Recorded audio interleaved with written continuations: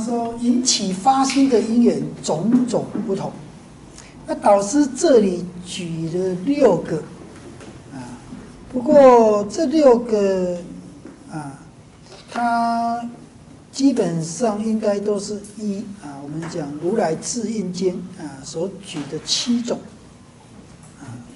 我们先看导师说的啊六个，然后再来看如来智印经讲的七个。他说发菩提心的因缘啊，那很多种不一样。那第一个，亲见如来及菩萨的色身相好而发心。啊，这个应该，这个就是啊，这里这里啊，导师举的第一个，若见若闻如来相好，这是导师举的第一个。若见若闻如来相好庄严，发菩提心。啊啊，所以亲见如来啊，若见若闻，色身相好而发心。啊，第二个。见如来的神通威力而发心，啊，那这个没有，啊，那第三个，见如来的法会庄严，听闻如来的原因教化而发心，啊，那么有可能是这个，啊，啊，我们先来看，啊，那如果是，啊，这个如来法会庄严，听闻如来原因教化。啊听闻如来云教化，若见若闻啊，可能都是在这这个里面又分啊，一二三。若见若如来相好庄严，那么应该是一二三四，大概一二三大概都是这里的。老师觉得一二三啊，大概都是这里啊，都是第七个啊。那第四个是身在佛后，天见佛弟子的教化。或读诵佛诵读佛经的深意而发现，啊，那有可能是第四个，啊，或是第五第六个，啊，那第五或有自动的，也有被劝而发现的，啊，那被劝的啊，大概就是第六个被劝的，啊，第四、第五劝他发心啊而发心，啊，那。自动的见他发心而发心，这可能是五啊，啊，或是不施时自发心啊，啊，四是导师讲的第四个身在佛后听见佛弟子的教化啊，那这个没有啊，也有可能是这四个啊，或是正法教面啊，为护持发菩提心啊，也有可能是这个这个佛后听见。佛弟子的教化，啊，那也有可能是这个啊。不过我们这也很难对照了，因为导师不知道是哪里读的啊。那但是一般来讲是依这个有七法发菩提心的《如来智印经》啊，因为最主要的不能生教衰，不能众生苦，最主要的是这两个啊，不能胜教衰，因为正法将灭。等一下，我们再来讲为护持故发菩提心。那么见诸众生众苦所逼，起大悲念发菩提心。所以不忍圣教衰，不忍众生苦，缘起大悲心，去入于大圣啊，发菩提心。其实就讲这个嘛。这这一句经，这一句啊，不忍圣教衰，不忍众生苦，缘起大悲心，去发菩提心，就是这两句啊。啊，如来智音经里面的。那导师这里举了六点，还有其他六点。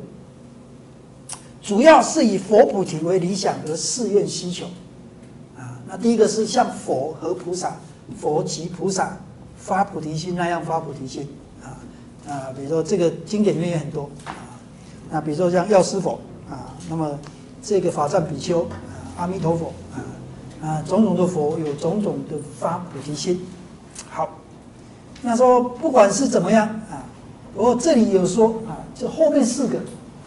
主要是这三个，后面四个发心刚强难腐，不能复返啊啊！就是最重要是，最重要的是两个，不能生教衰，不能众生苦了。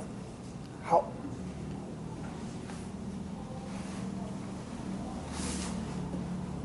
那么以佛菩提啊，就成就像佛那样的阿耨多罗三藐三菩提为理想，而誓愿希求，就是向着佛菩提前进的啊。希望能够得到像佛那样的成就，着重在佛德的崇高、深妙而发现。那这个就分啊，这个佛跟阿罗汉的不一样。要像佛那样的究竟，我们说过，既然都是阿罗汉，为什么？既然都是要修行，都要证阿罗汉，为什么不要像佛那样的阿罗汉？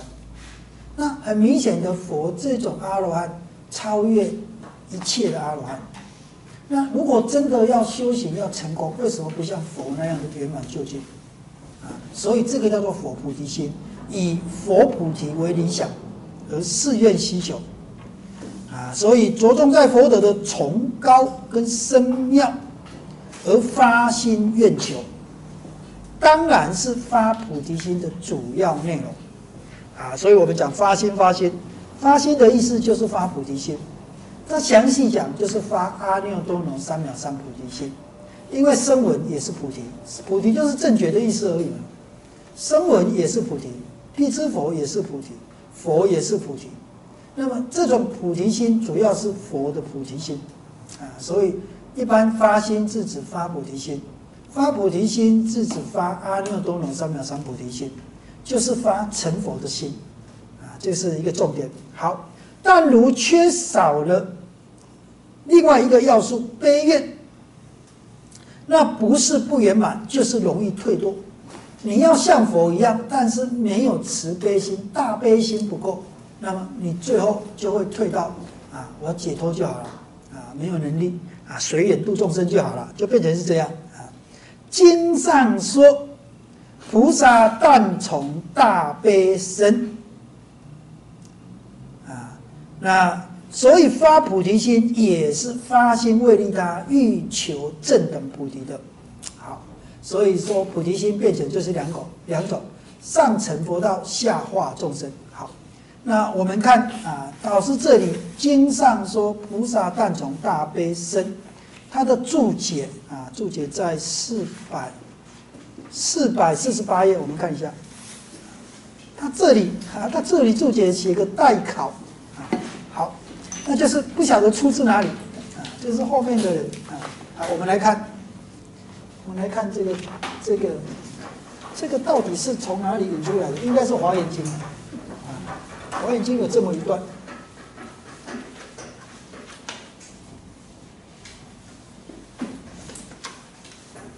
不过大悲心是菩提心的根本，菩提心是成佛的根本，没有菩提心就成不了佛，没有大悲心就就没有办法不退转菩提心，啊，那没有性空间就没有办法圆满大悲心，所以这个叫做大圣的三心，这个是有关联的啊，就上次我们刚才讲过，它是这样，我们先讲这个菩萨但从大悲心这个啊。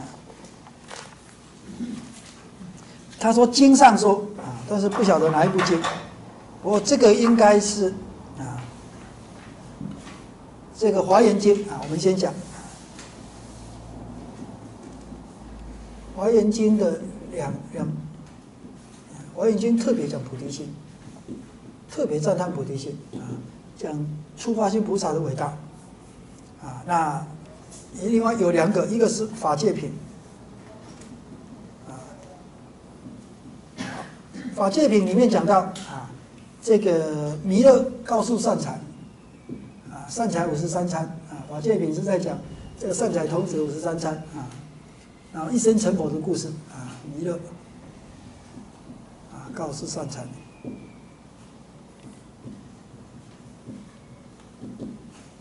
他说无为劳役一切众生。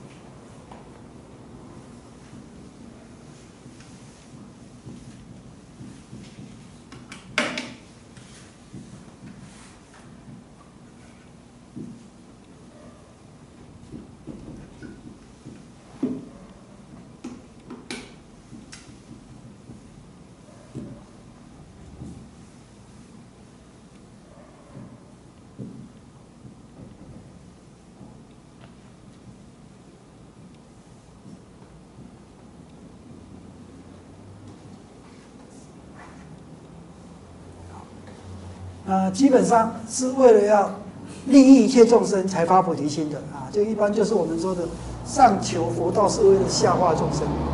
那他他有举一个譬喻？啊，他来说明这个。啊，他说譬如金刚，譬如金刚，这是前面说的了，譬如金刚。金刚就是《金刚传》的，唯从唯从唯从金刚触其金畜生，就是这种状，这种矿，就是在那个金矿里面啊，钻石矿里面啊，唯从金刚触，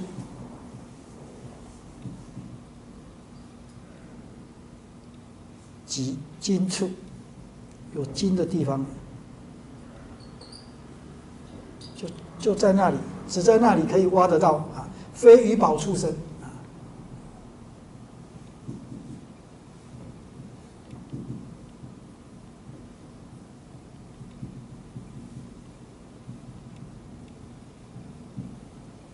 菩萨摩诃萨菩提心金刚亦如是。啊，就是讲这个。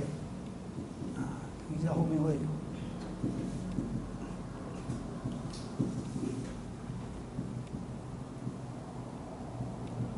菩萨摩诃萨的菩提。啊心。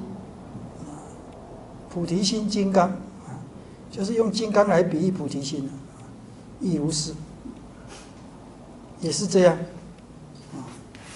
那么唯从大悲救护众生金刚处啊，这里就是这里讲的菩萨但从大悲生啊，唯从大悲救护。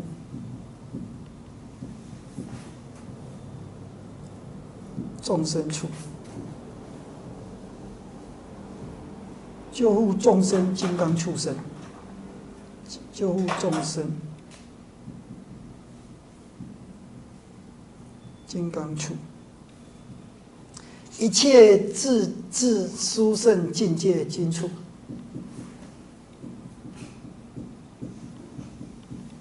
一切自智就是佛的智慧，佛是一切智人啊，所以。般若经里面讲，一切自智相应作因，大悲为上首，无所得为方便，啊，这个是大圣的三心。啊，啊，也是讲的一样。啊，一切自智殊胜境界，就是要像佛一样，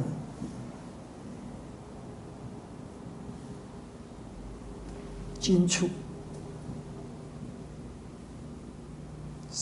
而生。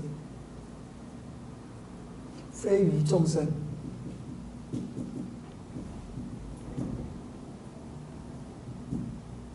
善根畜生。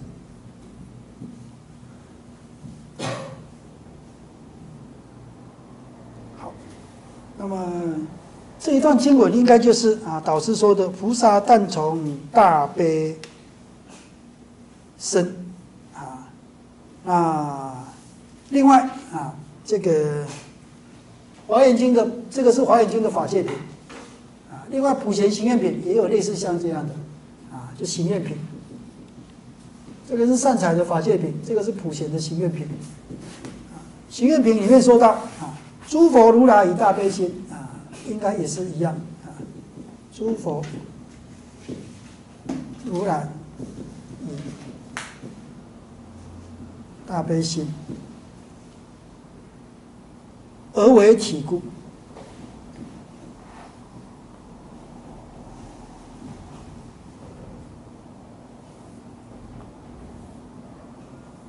因于众生而起大悲，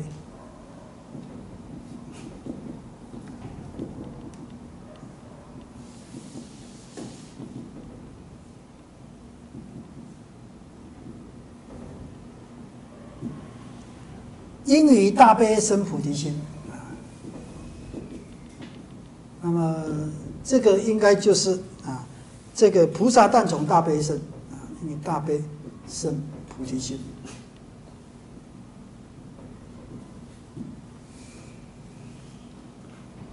因菩提心成等正觉。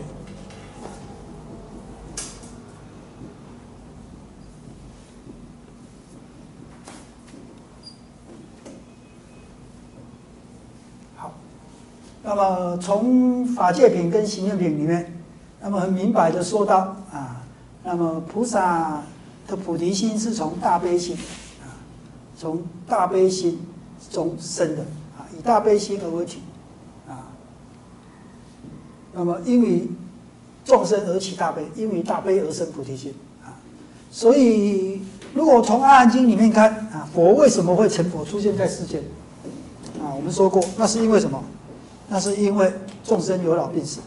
为了要救度众生的老病死，所以佛成佛。那么基本上也是这个意思啊。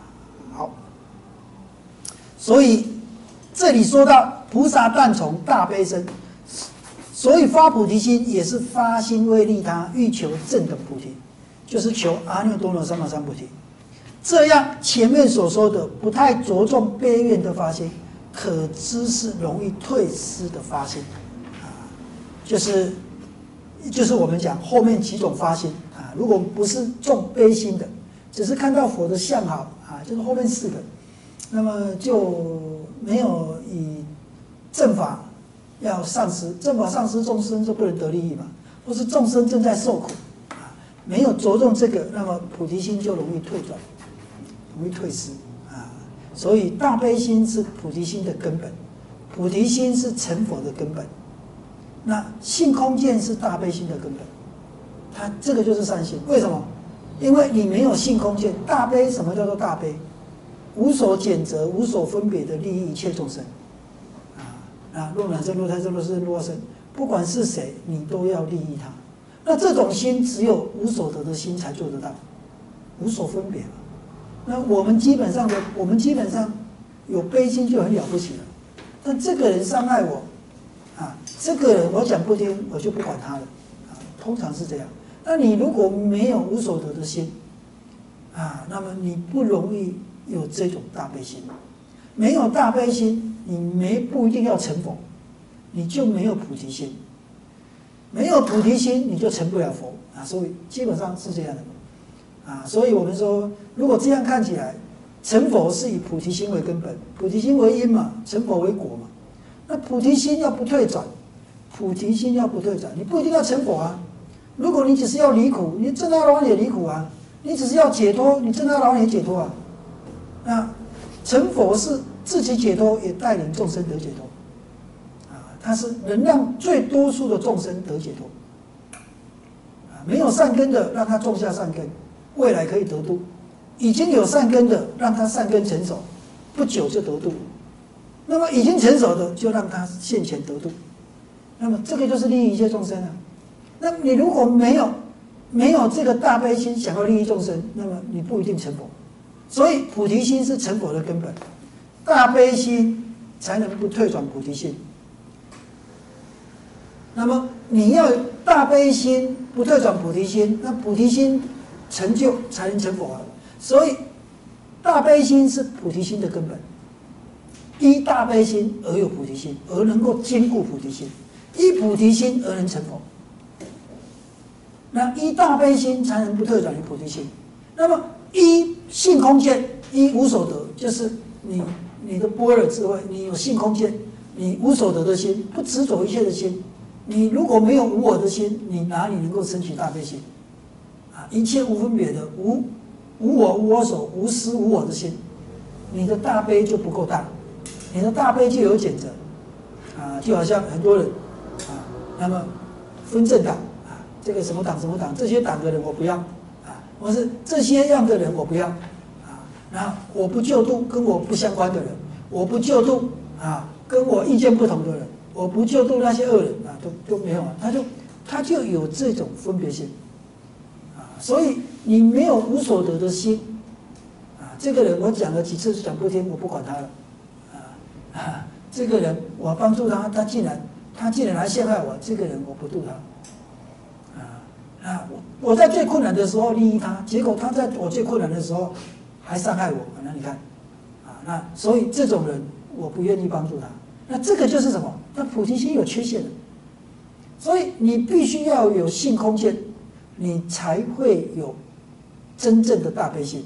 你有大悲心，你才能够不退转于菩提心。菩提心不退转，你才能够成佛。这这很简单的道理啊，就是它就是这样。所以大圣的三心嘛，啊，三心行六度，啊，以以以菩提心、大悲心跟性空见，依这个三心同时具足，那么行六度波罗蜜、六度四摄，那么这一条路一直那么成佛，啊，从这边来，好，那这个这个三心在般若经里面叫做一切智智相应作意，大悲为上首，无所得为方便，就这么说，啊啊好。我们再往底下看啊，所以他这里讲啊，这个着重护法而发心啊，不忍圣教衰的衰微，就是着重护法而发心，就是我们刚才写的第二个，知道三宝的殊胜功德有救人救世、隐身、世出世间善法的力量啊，因为没有法，众生就不能得度；有正法，众生就能得度。所以正法的存在对众生是很大的利益。就好像，啊，就好像这个药方，啊，有这样的药方存在，众生依着药就能够，啊，能够离开病的痛苦，啊，类似像这样，啊。可是身在相末，佛法衰落不堪，为教内教外的邪恶所扰乱，不能达成救人救世的任务。知道这唯有发菩提心，上求下化，啊，那么才是护心佛教、利乐众生的唯一办法。你要利益众生，你必须要有法，没有法你利不了众生。就好像医生医术再高明，没有药，他单单凭他的知识也治不了病，啊，凭他双手治不了病啊，他就没有药啊，啊，巧妇难为无米之炊嘛。啊所以你要有法法的流传，那么众生依法得度，那你为众生说法，教众生怎样怎样怎样怎样啊？那么可以离这个苦。所以法的衰末衰尾啊，那么对于众生是很大的伤害。所以看到正法衰末衰尾，那么你自己怎么样？你自己发心，弘扬这些佛法，护持这些佛法，护持正法，弘扬正法，修学正法。这个是佛教徒 在家出家最主要的，在家就是修学修学佛法，护持佛法啊，叫护持佛教；出家就是修学佛法，弘扬佛法啊，我们基本上是这样的。那这个这里讲到身在相末，相法跟末法啊，相法跟末法。那一般我们把这个把这个佛法。啊这个我们稍微要讲一下，因为我们会误会。我们最常误会的就是现在是末法，末法时代，末法时期。那么佛法在《阿含经》里面只分两个，《阿含经》里面只分两个，一个叫做正法，一个叫做相法。那到了后来，我们分了三个，啊，分了三个。分了三个就变成正法啊，应该要这样讲。这个是《阿含经》里面啊，后期的大圣经啊，这个是《阿含经》里面，他把法分成这三个。那么后期的大圣经啊，或是一些我们讲佛灭后的啊啊，开始有这样的啊。不一定是大圣经啊，我看有一些论里面也有啊，就是佛灭后的。那么基本上的一些，主要是以这些后期大圣经为主的。那么有所谓的佛法开始分，分所谓的正法啊、相法、末法。啊，那末法之后就灭法了。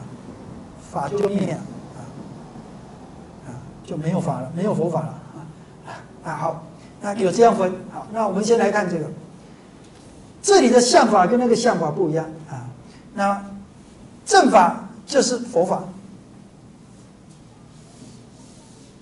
正确的佛法，相法就是相正法，但不是正法，啊，这个是相似佛法。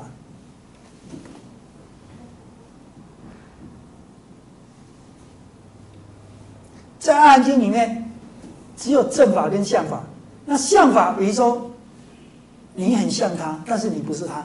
哎，你长得你长得很很像马英九，但你不是马英九，很明显的，你像他，但你不是他。啊，这个水果很像芭拉，但它不是芭拉。这个这个东西很像苹果，但它不是苹果，它是梨子。啊，所以像，比如说银很像金，但它不是金。啊，那这个相法就是相似佛法。那相似佛法就是你对于佛法不了解。你你你说的好像是，但其实不是。那这样很容易混淆，混淆，啊，就是你讲的好像是佛法，但其实它不是佛法。那么相似佛法流就好像仿冒品啊，佛法的仿冒品啊，山寨版啊，啊，那佛法是讲啊有业有报，那你讲的就是啊，那么你造业自受业自受报。那你自己要消除你自己的业，那现在变成啊，你靠着佛菩萨帮你消业，那这个看起来好像是佛法，其实不是。啊，你念个你念个解脱咒就能够解脱，你念个挂个解脱手环你就能够解脱，看起来好像也讲解脱，也讲佛法，啊，里面也有佛法，啊，挂个人言咒的人言经的这个这个这个咒牌或金牌，人言咒的咒牌，人言经的这个经书挂在身上就可以保平安。那么这一些就变成他讲的好像是佛法，那其实不是佛法，这个叫相似佛法啊，相似佛法，我们就叫山寨版的啊。那么正法跟相法，相法就是像正法，但不是正法，好像正法，但不是正法。好，那《阿含经》里面讲的正法、相法是这样。那么后来大乘佛法，或是后来佛灭后讲的这些佛法，正法。就变成正法时期是佛在世的时候，啊，那一般有讲啊，比如说五百年，啊啊，那佛在世或佛灭后，那么正法持续五百年，那么可以解脱，这个叫解脱坚固，啊，一般一般是这样的，时间有的讲五百年，有的讲一千年，还有我就讲末法一万年啊，这讲的不太一样，但是比如来讲啊，讲五百年，相法有五百年。啊，末法一万年啊，一般的啊，或是一千年啊，好，那讲一千年好啊，一万年好像太长了啊，但是有很多种说法了。好，那正法就是一般是这样说了啊，就是有一些大圣经，比如说啊，这个讲专门讲末法的这些经典，或是大集经里面啊，那也有类似像这样啊，有三种时期啊。那么正法是解脱坚固，就是这个时期修行是可以得解脱的。这个时期修行是可以解脱五五百年，啊，从佛出世到佛灭后，这样这中间五百年，啊，可以解脱。那么到了相法的时候，啊，就变成啊，他是说禅定坚固，就是说你解脱不可能了，但你还可以得禅定啊。那修定啊，就是说它已经是只存只存表象了，啊，只有些样子而已了，啊，到了末法啊，就是斗争坚固，就斗争了，啊，那顶顶多只是修福报，啊，修福报，修修福报而已了，增长福报而已了，也要得得神通得禅定都很难的，那么要得解脱那是不可能，就变成这样。啊那所以就变成末法，就是佛法变成很微末，是知末了。那这个相法还有个样子啊，还有还有个修行的样子啊，这个是连修行的样子都没有了，那解脱也不可能了，就变成只是啊盖寺院啊，然后印经书，就变成是这样了。那这个是斗争坚固，就只是修一些福报而已。这个是后来的说法哦啊，那我们一般都是用这样啊，所以说末法。第一人修行，汉一得道，啊，就大家都在修行，没有一个得到的。那么现在只能靠念佛往生净土，没有其他路了，就就变成是这样。不过这个是北传比较流行的，藏传也不流行这样，啊，那这个南传也不这样讲，啊，那真正这个是后来为什么会有这种思想呢？是因为佛教流行的地方有一些发生国王灭法，中国也发生很多处。中国发生很很多就是很多时候最有名的就是三武一宗嘛，然后还有一个太平天国的洪秀全，还有一个毛泽东，啊，大概就是这六次，三武一宗有四次嘛，最早的是北魏太武帝嘛，那个时候所有的寺庙都破坏掉，所有的经书都烧掉，所有出家人都杀掉，啊，啊，大家往外逃了，啊，那个是最严重的，你家里面只要敢藏出家人的那个那个全部全家也杀掉，啊。那所以很多人都往逃，不过他那只在北魏那一个地方而已，其他都往其他逃。那最严重的一次大概就是全面性的了，大概就是毛泽东的十年文革了，啊，佛教、道教啊、儒家全部啊全部都破坏掉。那么这些三五一宗再加上太平天国，太平天国就是整个南方的佛教都摧毁掉，啊，江南以南的基本上太平天国势力很大，他是打着上帝的名号嘛，啊，叫做上帝教嘛。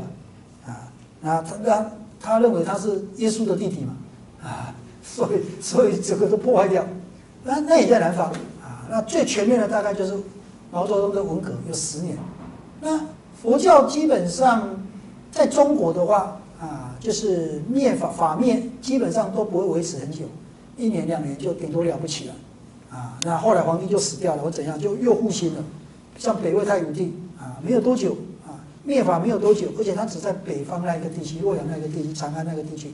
那没有多久，他文成帝继位，他又复兴了，啊，又复兴佛教了，啊，所以大部分都不会很久，三武一宗也都不久，都不为久。那么最久的就是，最久最全面的就是毛泽东，啊，毛泽东摧毁，摧毁整个佛教。那多数的出家人不是还俗就是被关，不然就自杀，啊，多数都是这样。寺庙只保存几个重点寺院，其他大概都破坏掉。那不只是佛教，道教、儒家也一样。啊，那个是破四旧的时代。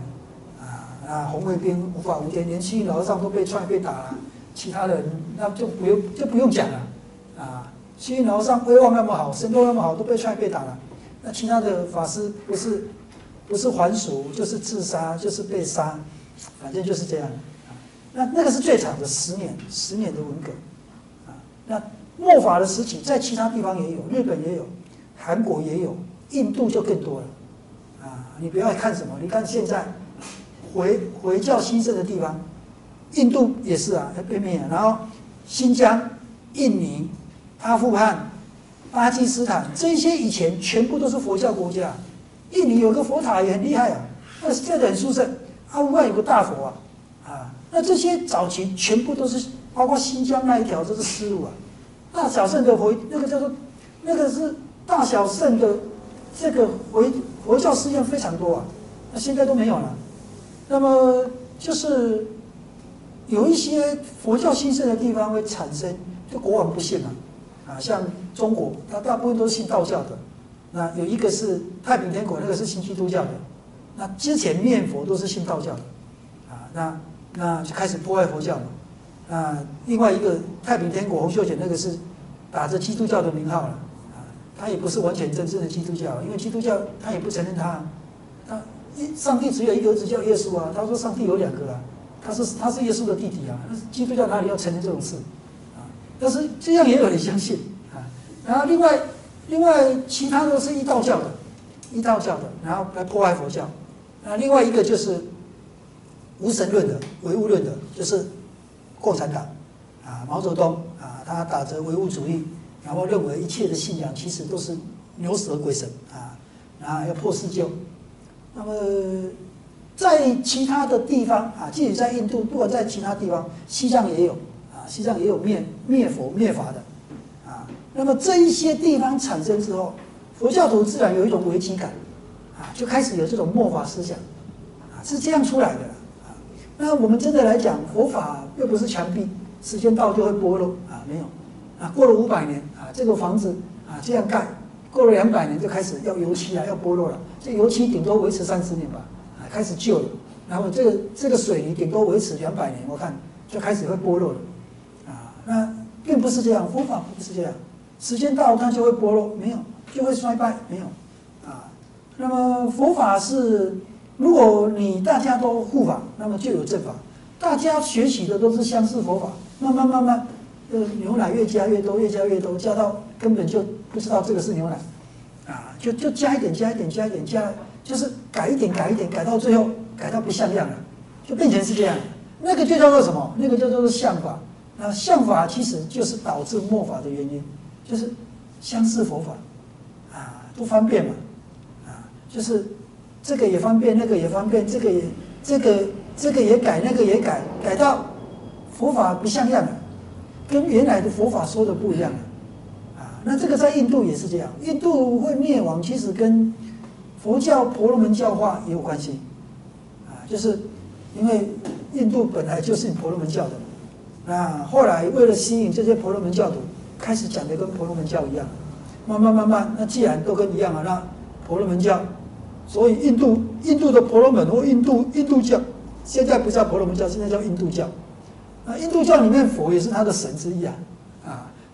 还是他的神之一，啊，那就是为了吸引吸引这些，那么开始就像佛教，佛教不讲道教那一套，啊，就是鬼神啊什么这一些的，啊，然后现在你看现在中国的佛教基本上也是道教那一套了，啊，这个文书啊，这个是道教才有的嘛，然后这个烧这个烧这个烧这个船啊，我们把它叫法船啊。那那这个是道教才有的，啊，那有一些东西就是道教化的，久了久了就跟道教一样啊，啊，那慢慢慢慢，其实佛法会衰败是因为这样，就是没有佛法的特色。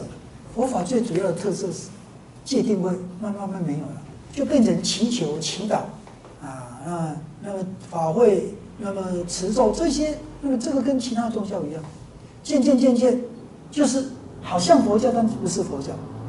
啊但是后来所谓的相法，相法还是佛法哦，啊，只是只存表象，啊，但是还是佛法。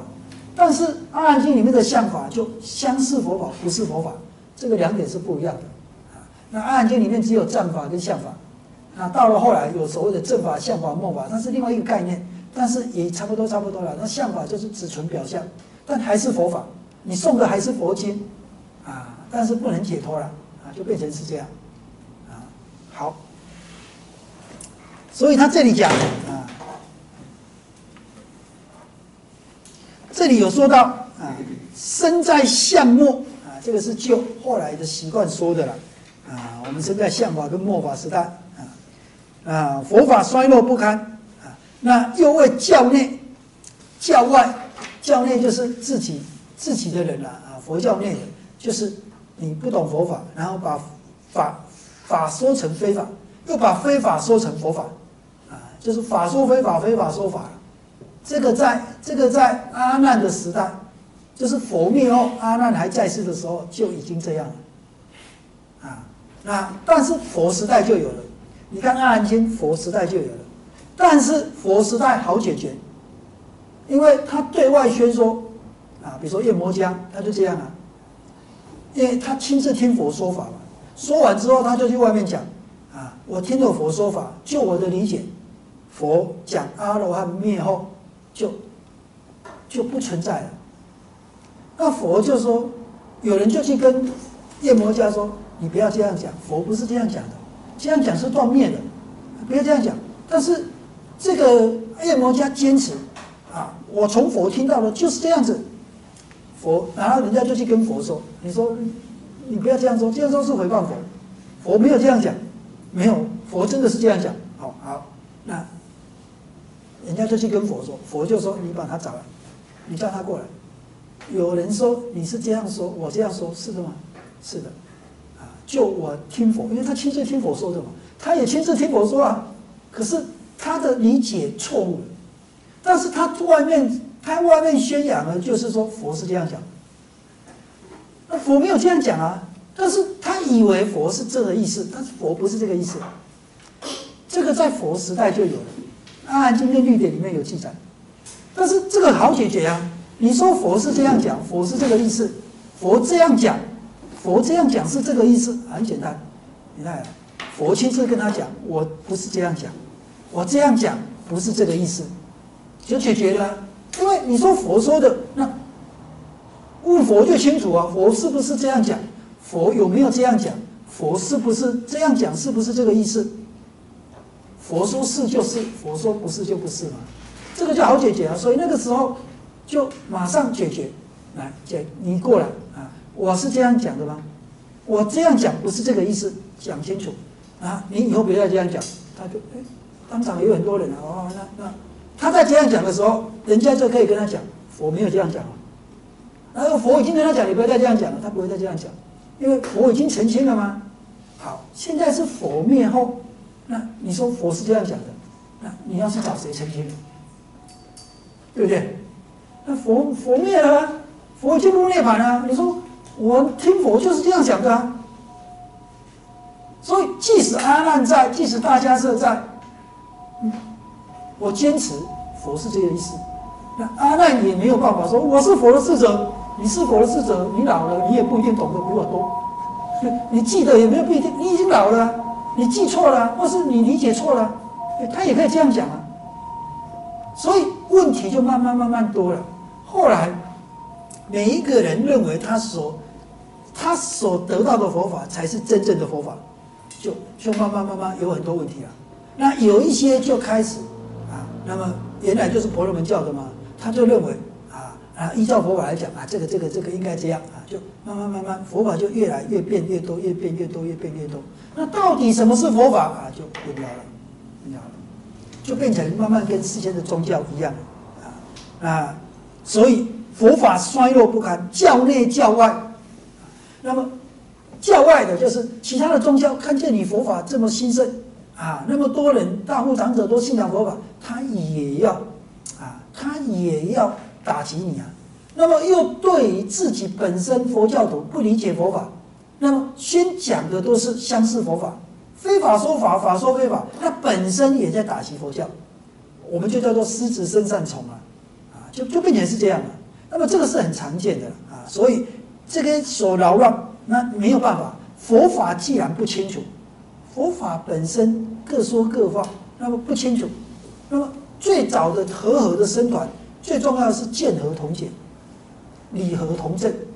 那现在见合不同解了，怎么能够理合同证呢？啊，没办法了，所以没有办法利益众生啊，不能真实的利益众生啊，啊，就救人救世，知道唯有发菩提心，那那怎么办？你自己要好好的学习佛法，就像印顺导师啊，那怎么我所理解到的佛法跟世间的佛法差这么多？怎么我学习到的佛法跟世间的佛法差这么多？那到底什么才是佛法？啊，我好好把它弄清楚，好好学习佛法，把正确的佛法来告诉大家。这个就是这样啊。印顺老师是这样开始研究研究印度佛教思想史的，研究所有的佛法，研究布开佛教，研究大乘佛教，到底什么是佛法？佛法到底怎么是回事？最初是怎么样？后来是怎么样？然后变成现在是这样。到底这是怎么变化来的？为什么会这样？好好把它研究清楚。那么把真正的佛法告诉大家，那是怎么演变的？那我们现在应该要怎么样？所以他才讲气里气息的人间佛教，啊，他就是研究来知道啊。你看他这个就是发菩提心，你看他没有到处去度众生，但是他实际上是发了菩提心在做这件事的，要把真正的佛法告诉大家，不忍圣教衰，这个是他的发现。了不起啊！啊，那所以这个是什么啊？复兴佛教、利乐众生的唯一办法啊，就是以不忍圣教衰为远而起大悲心，依大悲心而引发大菩提愿。那我相信这个是印顺老师他自己的，他自己也是这样子的我们看他的一生就知道了啊。那么第二个，不忍众生苦啊，着重于利身而发心啊，一个就是依正法，一个就是依众生为远，但是。正法也是为了利益众生，利益众生必须要正法才能真正得利益，这两个是互为因缘的，但是就是着重在哪里不太一样。一看见众生苦而不断的学习正法，看见正法衰灭而想到众生会因此受苦，它是远的不一样，但是实际上这两个是不能离开的，没有正法就不能利益众生，啊，那么利益众生就必须要有正法。只是你原正法，还是原正法的衰微而发现，还是原看见众生的痛苦而发现，不一样而已啊！所以它叫做着重，着重！或有时身在时事混乱，民生艰苦的时代，啊，就是众生的苦了。那众生的苦有几种？一种就是他生在比较不好的时代，人民生活艰难困苦的这个时代，想要帮助他，那自己没有这个力量，所以仔细的研究，知道只有成佛，让自己成为最有力量的人。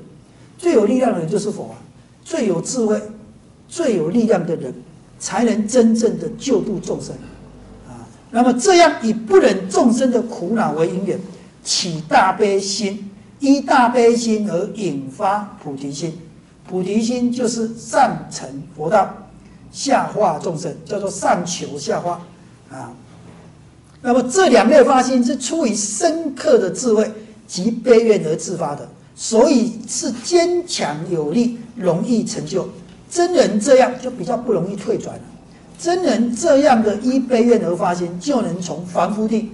像我们啊，凡夫地从去入到大圣道，我们这个时代佛法是这样的衰落，人生是这样的苦恼，真正发菩提心的应该是时候啊，所以大家都要发菩提心，都要学习菩萨道，那么来利益众生。好，我们今天就讲到这里，大家合掌为相，愿以此功德，愿以此功德。普及于一切。普及于一切，我等与众生，我等与众生，皆共成佛道，皆共成佛道。